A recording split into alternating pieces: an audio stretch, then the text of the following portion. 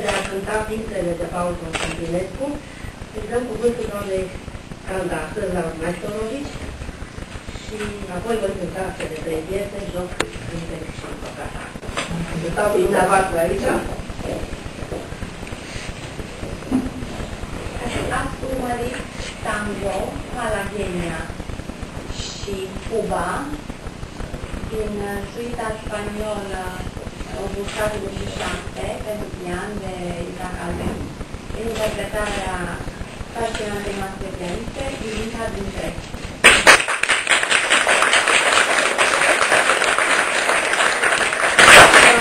Vreau să vă spun, uite, sunt suntem la microfon acum, sunt uh, foarte uh, emoționată și onorată să fiu alături de dumneavoastră, de organizația noastră a interpreților, a coregrafilor, a criticilor muzicali. Uh, este o inițiativă excepțională și iată că ea reînvie. Mă bucur aici să văd întreaga conducere, Ronote, cum mai cum Iară Nevoiu, uh, Milela, ce să mai vorbesc, care este un suflet ardator. Uh, Și în același timp sunt uh, foarte bucurată și la fel de onorată să fiu pentru prima oară să cânt în Biblioteca Metropolitană Mihail Cadoveanu și uh, sunt uh, invitată și alături de, de admirabilul distinsul om de cultură care este Florin Rotaru. Și uh, cred că acest uh, prim concert, nu din stagiunile noastre, va deschide drum pentru toți care vor dori să cânte, pentru mari interpreți, ca și tineri interpreți care vor fi aici alături de, de stagiunea organizată de, de dumneavoastră. Eu vă mulțumesc și că abia aștept să cânt celelalte piese. Și acum o rugăm pe doamna Sandra. Da, domnul Costin Zitilă, șeful departamentului de critică muzicală, va prezenta și Asociației Paul Constantinescu din Ploiești și de multă vreme reușește cu un efort extraordinar și iată cu un sprijin, o serie substanțial din partea primăriei locale, din partea editurii muzicale, să readucă, să mențină trează, de fapt, nu să readucă în actualitate, să mențină trează atenția pentru unul dintre cei mai importanti compozitori ai secolului al XX-lea până îndoială și unul dintre mari compozitori ai lumii, Paul Constantinescu, născut în Ploiești în 1909, pe care l-am aniversat anul acesta, dar nu îndeajuns, așa cum se întâmplă de fapt cu marii noștri compozitori, mai ales cu cei de după Ionescu. Sunt uh, mai multe lucrări pe care vreau să cele mai recente este pentru pian, de fapt integrala pieselor pentru pian de Paul Constantinescu, apărută în vară, chiar înainte de 30 iunie, când am marcat pe centralii, la editura muzicală,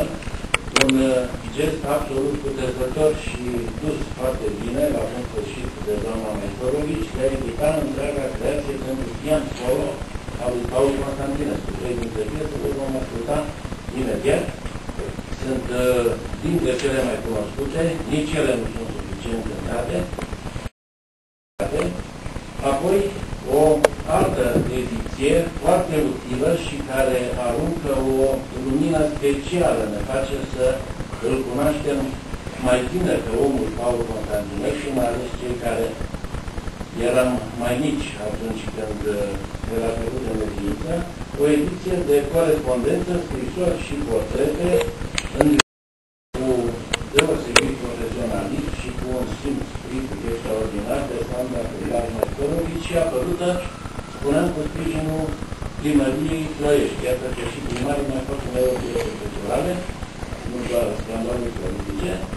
În această carte de corespondență pe care vă recomand din tot sufletul, o latură esențială sigur a personalității omului, care era o fire cât se poate de deschisă, un om de studiu, poate aproape chiar un savant, dacă ne gândim la ceea ce a făcut studiind muzica religioasă, muzica salvică și dând cele două capodopere care stau lângă Pași fără de probleme, cele două ratorii de Crăciun și de Pași, extraordinare, care au început să se cânte după 1000.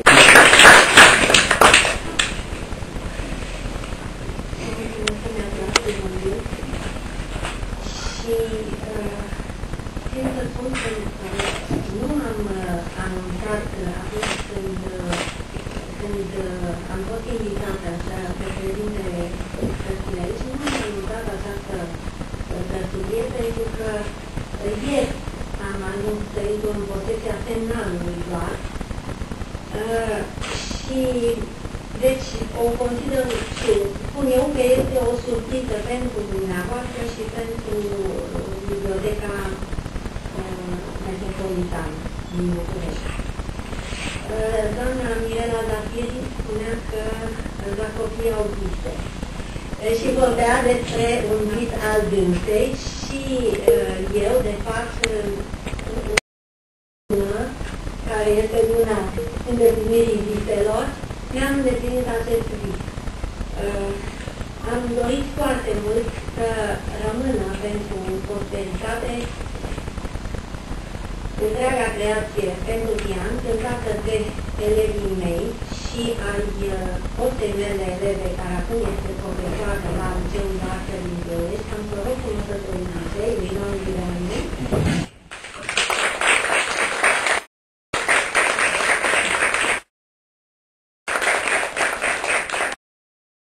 interpretele care, uh, care uh, au realizat acest studiu. Uh, avem aici, deci, aceea care însoțește cartea. Uh, avem două dintre ele, pe Ioana Enea și Silvia Mihai, le rog să se ridice și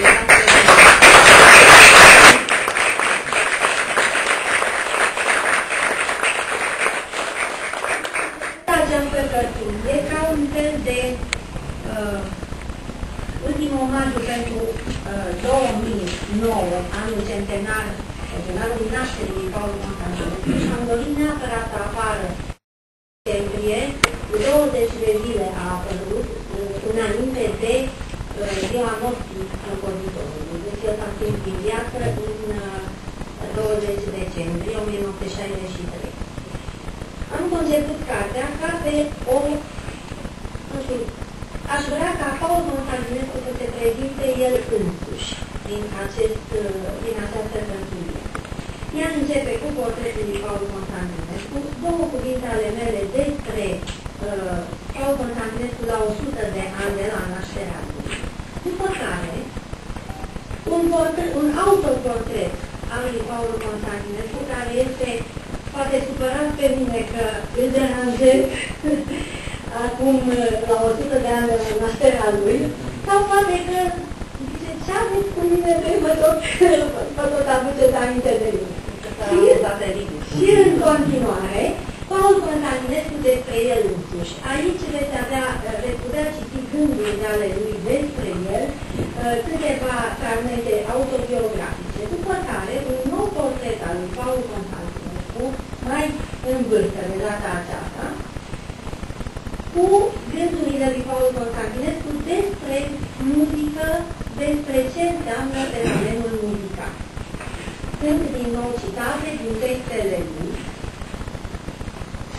ca uh, să urmeze uh, un, două, uh, două, două, două desene ale, uh, ale lui Vasile Bahoie, cu Enescu dirijând oratoriul Patimile Domnului la, la premieră uh, a deci, lucrarea lui Paul Constantinescu și apoi gândurile lui Paul Constantinescu